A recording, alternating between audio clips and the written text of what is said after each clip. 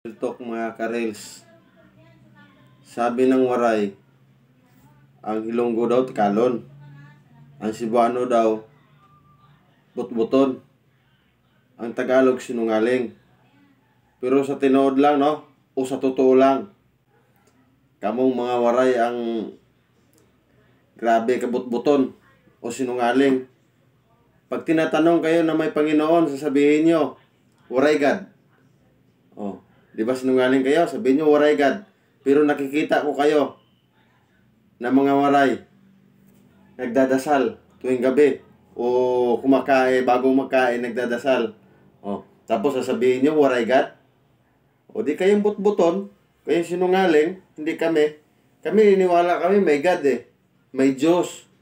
Pero kayo, pag tinanong kayo, may Diyos ba? Sabihin nyo, waray God. Oh. Waray God, tapos na nag-aampo kayo, nanalangin kayo, nabubut-butong ka.